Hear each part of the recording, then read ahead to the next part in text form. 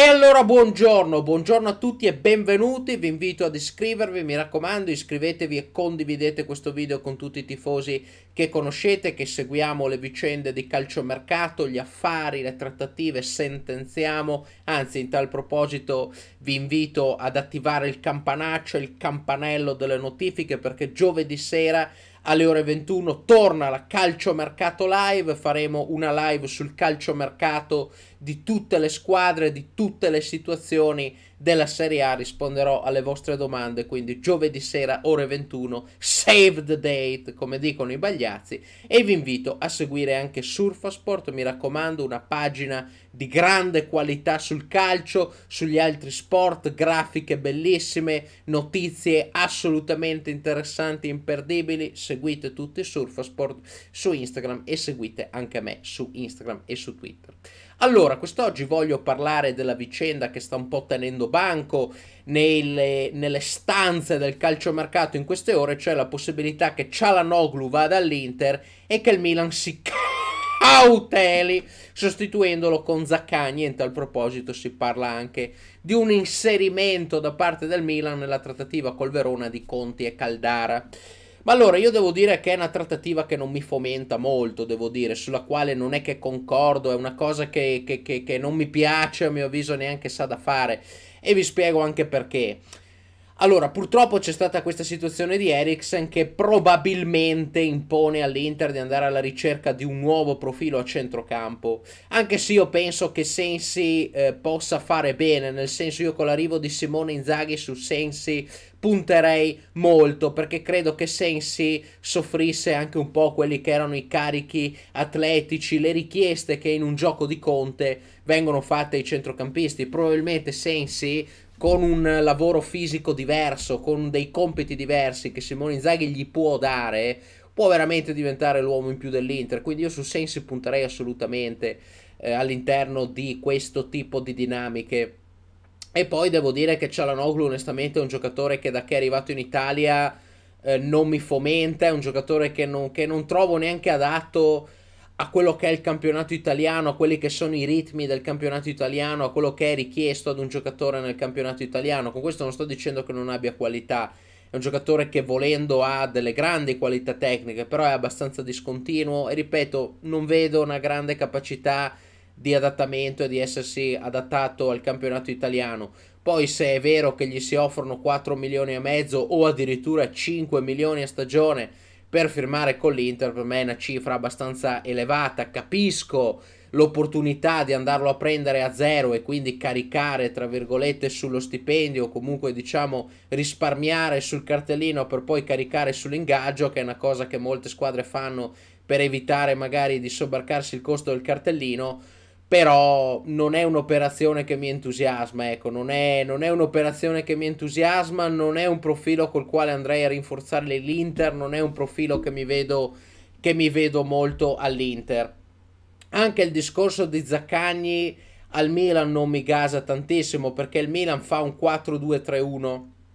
e Zaccagni nel 4-2-3-1, devo essere onesto, è un giocatore che reputo abbastanza sprecato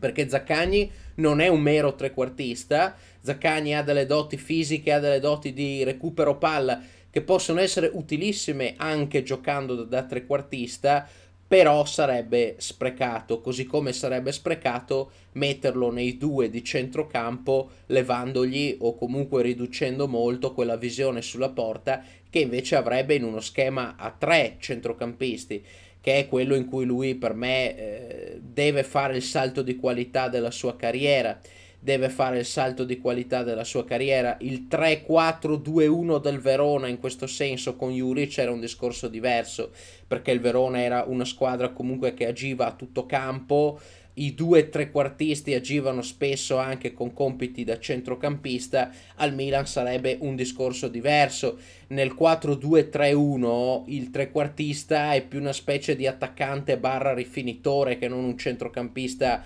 aggiunto, un centrocampista avanzato. Quindi Zaccagni nel 4-2-3-1 non è che mi fomenti moltissimo. Diverso il discorso se il Milan volesse, sarebbe anche il caso visto, visto eh, visti i problemi avuti con Tonali, eh, se riscatti tonali, diverso sarebbe il discorso se tu optassi per un 4-3-1-2 che allora ecco mi pigli Zaccagni, mi ripigli Tonali, ecco che diventa interessante farlo, ma dubito che Pioli abbia in testa questo, visto che è andato avanti per tutto l'anno con il 4-2-3-1 e penso che l'idea sia quella di continuare con questo schema, no? visti anche i nomi di cui si parla per l'attacco. Quindi sono due operazioni onestamente che non è che mi facciano impazzire. Eh, il Milan dovesse perdere Cialanoglu anche lì, eh, per carità, per quella che è l'inerzia, per come è andato avanti l'anno, per il secondo posto che hai ottenuto, nel possibile cercherei anch'io di rinnovare Cialanoglu perché comunque i suoi colpi li ha, perché penso che nell'economia anche dello spogliatoio, della squadra, possa essere un giocatore utile che è lì a, a Milano ormai da diversi anni, quindi nel possibile, nel possibile cercherei di rinnovare Cialanoglu al Milan, ma qualora questo non fosse possibile non andrei troppo a dannarmi l'anima e onestamente se fosse nell'Inter cercherei altri profili, anzi vi dico di più, sarebbe molto meglio vedere Zaccagni all'Inter piuttosto. Ecco che se l'Inter mi va su Zaccagni fa un'operazione intelligente, fa un acquisto intelligente, così come dovesse andare ancora meglio magari, ancora meglio su Nandez, su Nandez che è uno che ti può fare come abbiamo detto nel catto mercato che ho fatto relativo all'Inter, relativo al calciomercato dell'Inter, Nandez all'Inter ci starebbe alla grande anche perché ha fatto negli ultimi mesi a Cagliari, ha giocato anche come ha giocato anche come eh, ala addirittura, ha giocato anche come esterno a tutto campo, quindi in caso di emergenza un Nandez sarebbe l'ideale, ma paradossalmente vi ripeto, Zaccagni per l'Inter sarebbe eh, meglio, meglio dello stesso Cialanoglu, potresti far, fargli fare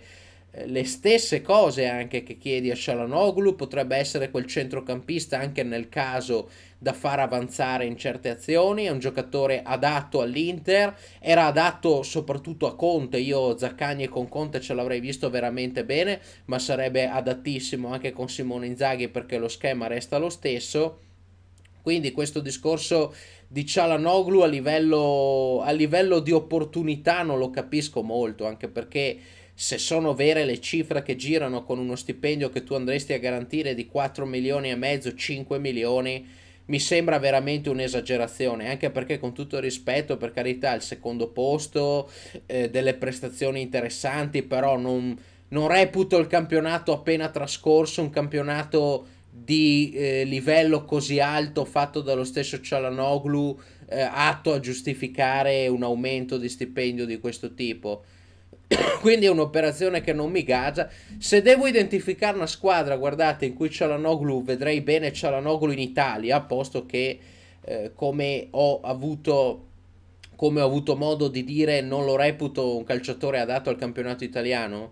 Ma se devo trovare una squadra in cui potrei vedercelo, in cui eh,